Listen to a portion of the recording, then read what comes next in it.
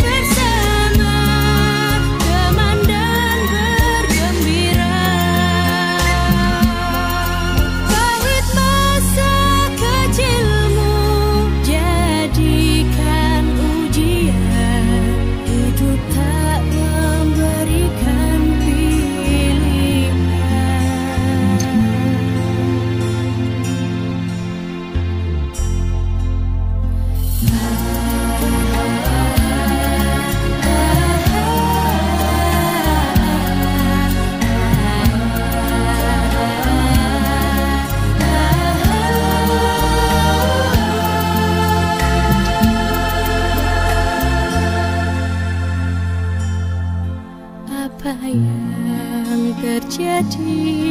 Kau tanggung sendiri debu dan hari menjadi saksi.